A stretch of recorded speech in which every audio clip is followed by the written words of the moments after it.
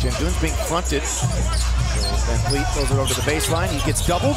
Oh, it just worked by that for the easy two. Just spun around two defenders as if they were. The way they're playing together, I think Coach Udoka doesn't get enough credit for, you know, the system that he brought to the table, but not only the system, just the defensive mentality culture. The other night against Detroit, the Rockets were rather pedestrian in the first half, and then this was the quarter where they blew things open. We'll see if history can repeat itself. And it does with a drive and score for Sengun, who had 20.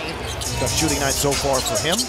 Good young player. Sengun. And that time it was sharp defending, and he couldn't defend him, never on the line. Now, the restricted circle that's underneath the basket, that line, that area, Sengun gets it to go plus the foul. Extends up into perpetuity.